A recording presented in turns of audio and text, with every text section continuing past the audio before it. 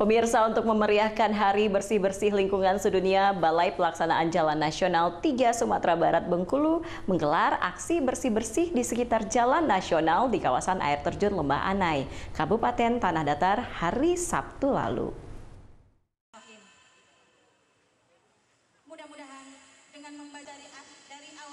Hari bersih-bersih lingkungan sedunia yang jatuh pada tanggal 15 September kemarin juga diikuti oleh para pegawai negeri pemerintah pusat yang berdinas di Sumatera Barat.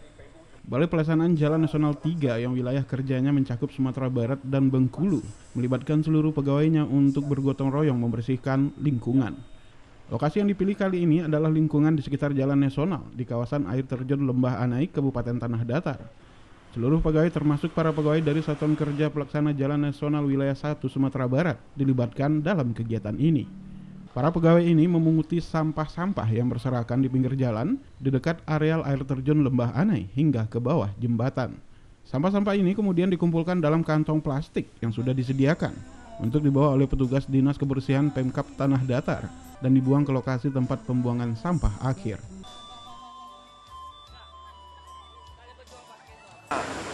Pertama, agar objek wisata ini bersih dengan mengajak masyarakat setempat dan kita yang sebetulnya tugas kita adalah mengurusi jalan dan jembatan, tapi kita tidak boleh terbatas dengan itu. Bagi saya pribadi, bagian dari mencintai Sumatera Barat, yaitu mencintai sekisi Sumatera Barat.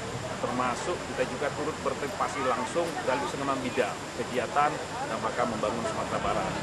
Dalam inilah kita membuat kegiatan pembersihan lingkungan terutama sampah yang ada di Lembah Ana.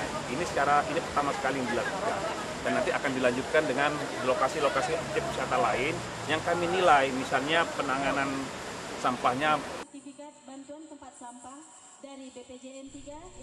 dari Tanah Datar, Budi Sunandar, iNews melaporkan.